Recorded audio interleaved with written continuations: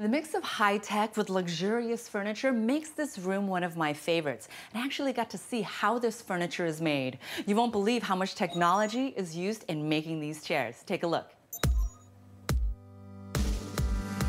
Here at the Bassett Upholstery Plant in North Carolina, we do the whole process. We take it from start to finish. On an average, we make between eight and 900 pieces of furniture a day. So in this computer, how many different patterns do you actually have? We have over 200,000 combinations uh, and files. Is that just for sofas, or you mean for the entire furniture line that Bassett creates? For everything, for Okay. sectional, sofas, uh, chairs, ottomans, anything you can imagine. So when people look at a sofa, I mean, it just looks like one seamless piece. How many pieces are actually in a sofa? Up to 100, around 100 apiece. That is a lot of pieces. Yes.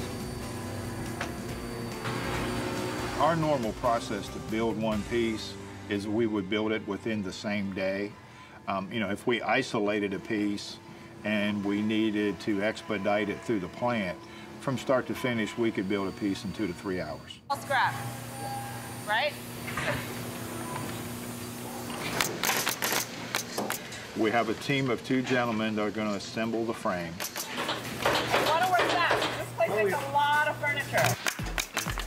Then we slide it to the next position on the line and we install all the seat springs and the back springs. And then right beside it is the cutting machine where we're cutting the fabric. So what is that? Pick it up. Oh, this is a cushion. This is a cushion.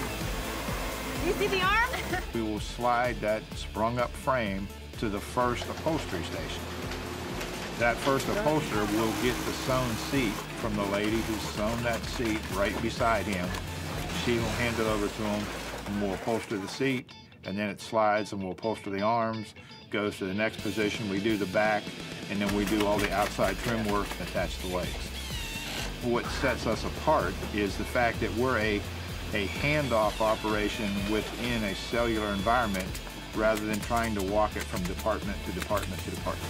And when the pieces are complete, they get shipped off to customers around the country. This year's HGTV Smart Home features a wide variety of HGTV home furnishings, which give the rooms inspired, functional, and stylish looks. Learn more at hgtv.com slash smarthome.